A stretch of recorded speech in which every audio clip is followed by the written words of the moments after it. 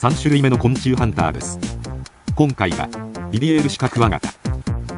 今まで日本の昆虫だったので海外のクワガタはどんな仕上がりになっているのか興味があったので買ってみました。これです。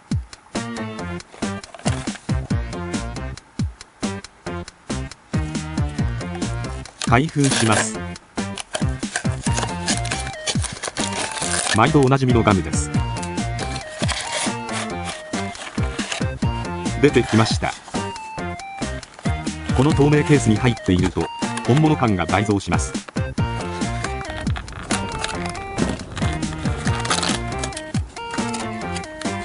先の2種類に比べると作り物感がある気がします。見慣れてないのでそう感じるのでしょうか。頭のザラザラとした質感がナイスです。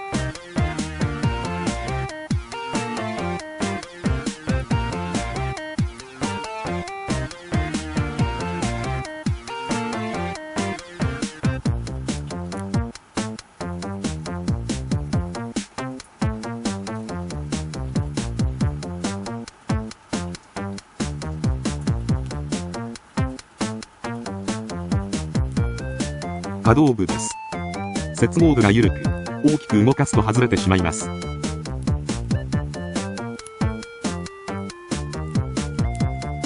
裏側からも見ちゃいます。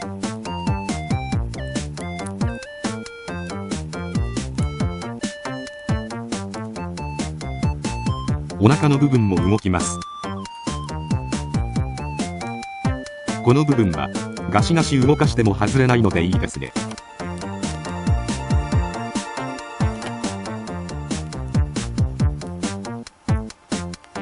顔も動くのがすごい。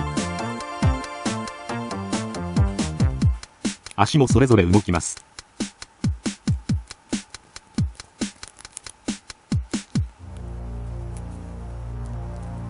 挟まれてみたりいたたたなんつってハサミを取るとメスみたいになります。